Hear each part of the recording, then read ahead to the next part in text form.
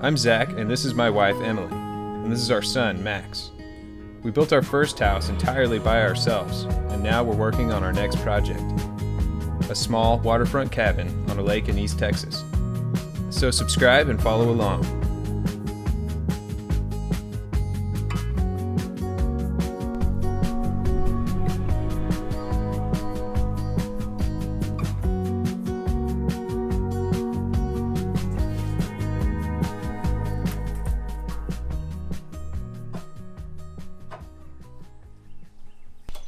Right, so we're uh, starting to frame out down here in our little basement room, and uh, my brother Ben is here helping me. Brother we're gonna, Ben. brother Ben. We're gonna see how much we can get done. Um, should go pretty quick. So we're about to build this first wall for this section over here. Yeah, just pretty straightforward wall building stuff.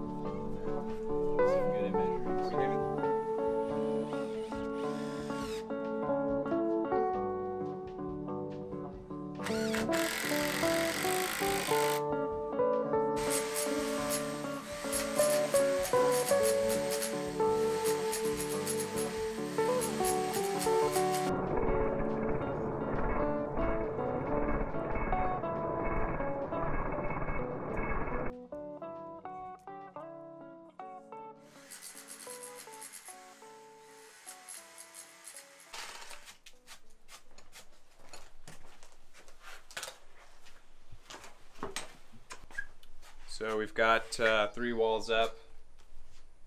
And, well, really, it's just two walls, but those are two individual walls over there. And uh, yeah, just got to do this little one and then this big wall here.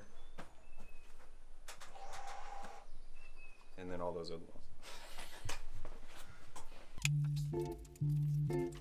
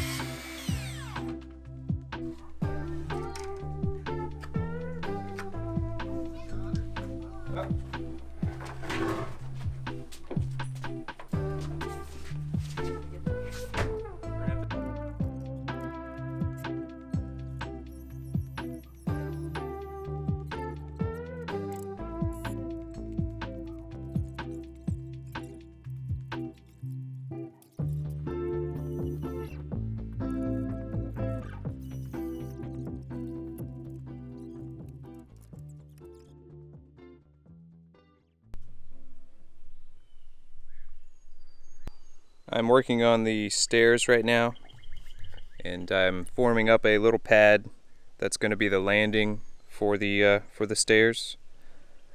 So I kind of had to figure out uh, the height that I wanted it at um, so I could kind of start to calculate uh, how long the stringer is going to be and then I just used a online stair calculator and that kind of told me how the length of the stringer and the uh, total run so I was able to get this in a uh, good position to where we'll have about a foot of a step before the stringer starts. And I left a little bit of, I made it a little bigger than it needed to be just so I have some wiggle room. But yeah, it should only take a few bags, so I'm gonna go ahead and get started mixing it up.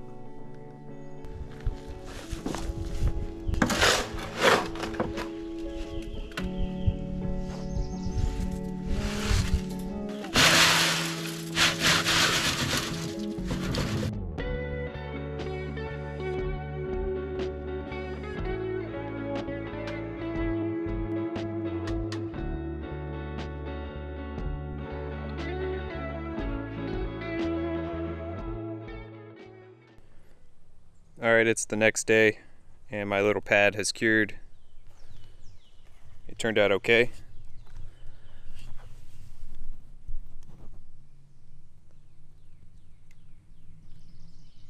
Now I'm working on laying out the stringers and uh, had to add some blocking. I had to add a 2x10 because the stringers are going to sit at this level here where this line is. Uh, so I just had to put some blocking back behind there to tie it all in together. And I've cut out the first stringer and it's looking pretty good. I think it's close enough. I'll probably cut one more using the square and then if that one's good I'll use that as a template. I'm gonna have five total stringers um, because I want to use the uh, decking and I need a stringer every 16 inches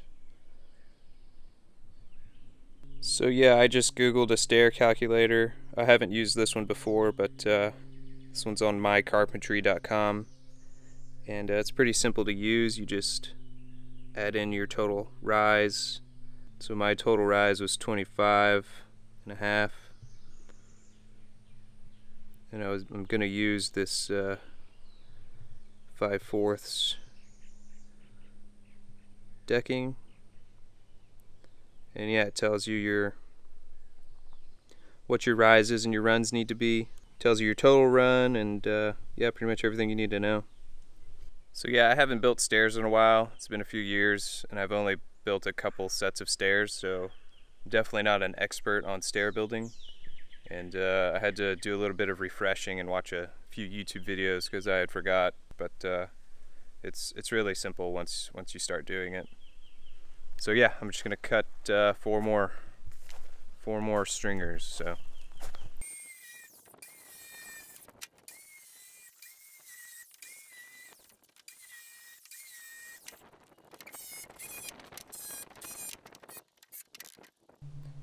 Alright, so I got all the stringers mounted and I put some flashing tape on top of all the flat surfaces where the treads go I just have these mounted in place using some uh, some brackets, angle brackets, and uh, two on each side should be plenty strong.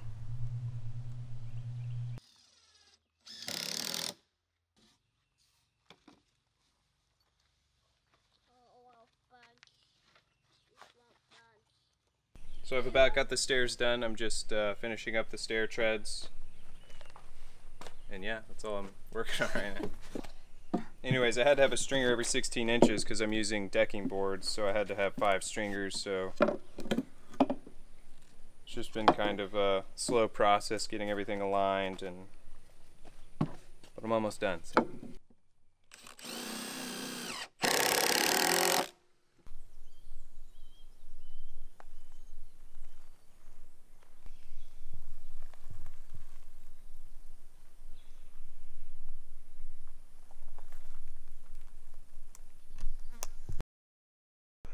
What's up guys? So we've been working down here in our little kind of walkout basement underneath our house And uh, we've just about got all these walls um, secured in place. Uh, we just finished anchoring them down to the concrete. I still need to secure them up to the joist in a couple spots, but after that we should be able to uh, put the sheathing on. So I'm just going to try to get that wrapped up and then we can go ahead and get the sheathing on. Hopefully we can get it all on there today. I also had this little slab poured. This is going to be our bathroom. Um, we went ahead and dug out off to the side here. And I still need to come in and, and make a little retaining wall uh, just maybe like a foot or so, maybe 16 inches. And after that, we'll frame that up and yeah, we'll have a nice little bathroom. I was originally going to try to put the bathroom in here inside this room, um, but it just would have made it pretty tight in here. And it, I figured it wouldn't be that hard just to add off to the side a little bit. So I think it'll work out pretty good. So my plan here is to cut this sheathing back some and uh, I want the sheathing to overlap from up there down to this lower floor just so this will all be anchored down here a little bit better and uh, it'll also make the house a lot more rigid this way see I just need to secure this top plate in a few more spots and then we should be good to go for putting some sheathing on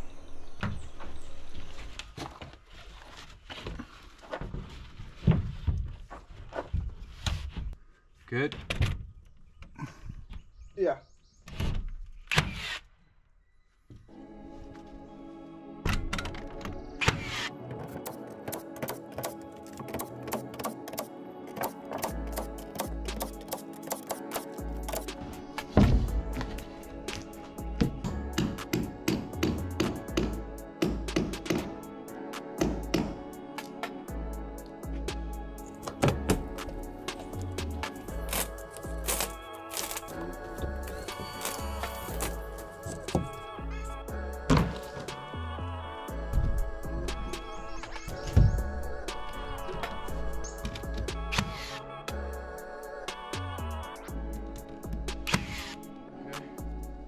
All right, so we were able to get these three walls done.